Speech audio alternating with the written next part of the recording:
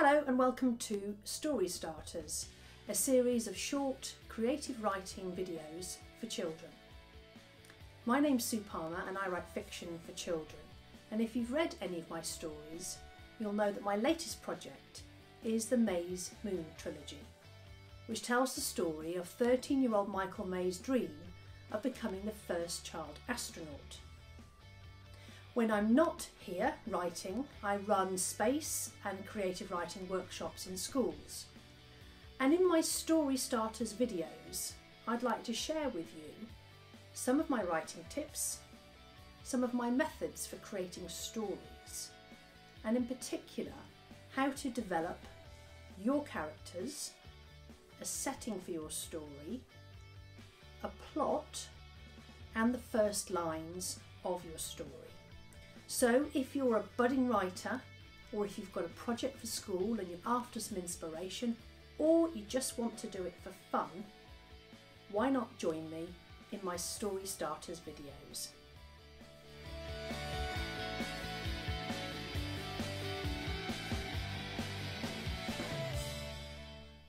So today we're going to be talking about your plot and I'm going to be showing you the importance of planning your story and sharing with you something I use called my plot plan. Now, if you've watched the previous Story Starter sessions, you will already have your character, have a picture of your character and know a lot about your character. If you've already looked at your setting, you will know where and when your story takes place.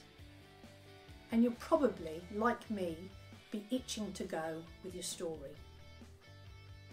All you're going to need is paper and a pen for this. This is the start, the very beginning of your story. So what do we mean by plot?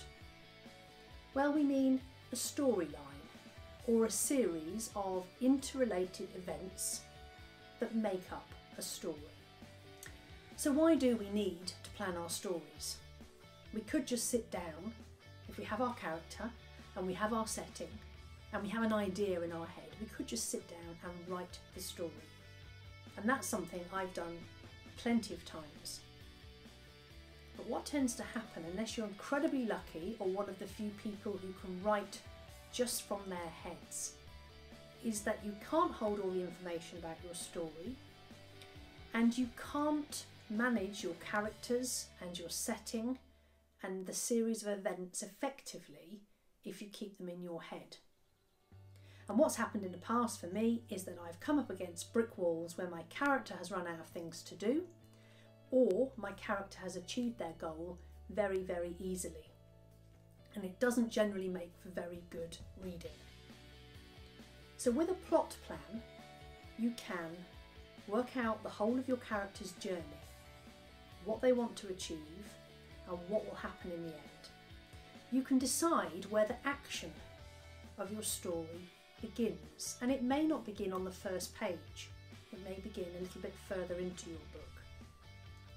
You can work out how to include tension in your story and at which points. You can figure out the obstacles you want to put in your character's way to make their journey more difficult and the achieving of their goal more exciting and the plot plan keeps you on track. You can refer to it, just one piece of paper, and see where you are in your story.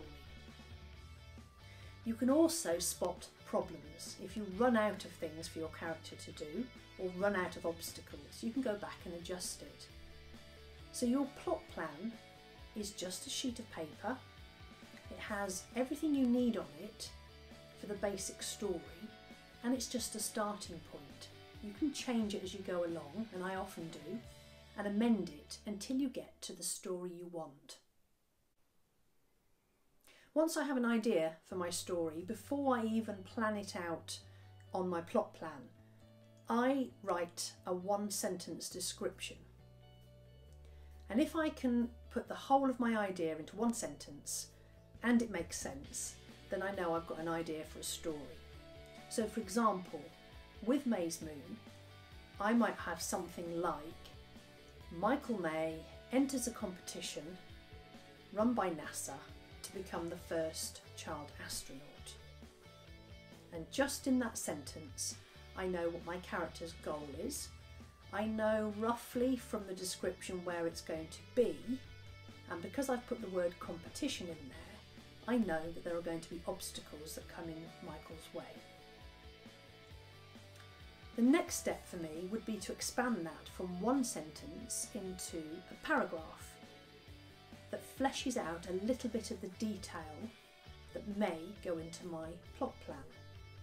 So, for example, for May's Moon again, it may well be Michael May makes it to the Children's Moon Programme, where NASA will choose the next child astronaut. Nine other children from across the world have also made it onto the Moon Programme, but only one can succeed. Some of them seem to be prepared to do anything to win.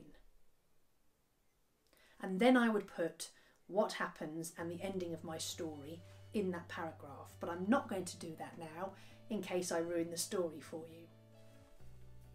So, one sentence to describe your story, and then a paragraph to flesh out what your story is about from the beginning through the middle to the end. So just take a few moments to try that out. If you've already got your character and your setting for previous Story Starters videos, brilliant. If not, start with your plot. So one line, then a paragraph, and then we'll move on to look at your plot plan. This is the copy of one of my blank plot plan sheets, something I use for all of my stories, which contains for me the key information about my story and where it's going. So let's take a look at it. Along the left hand side on the vertical axis you can see the word tension and that describes the rising tension of the story. Most exciting stories have tension that increases and decreases, increases and decreases. And you can see that that happens over the time of the story, which is on the bottom horizontal axis. So as time progresses, the tension generally increases. The bicycle, with my character on it at the start, is where the action starts of the story. It may start on the first page, but it may be a few pages into your story that the real action starts. And as you can see, the character's journey towards trying to achieve their goal, which is the mountain at the top of the graph, is filled with obstacles, which are the meteorites on here, followed by relief or a lull or a bit of calm time, before something else happens. And on this particular graph, I have four obstacles, but in your story or in a different story, there could be three or five or seven. It's up to you to decide how many obstacles you want to put in your character's way.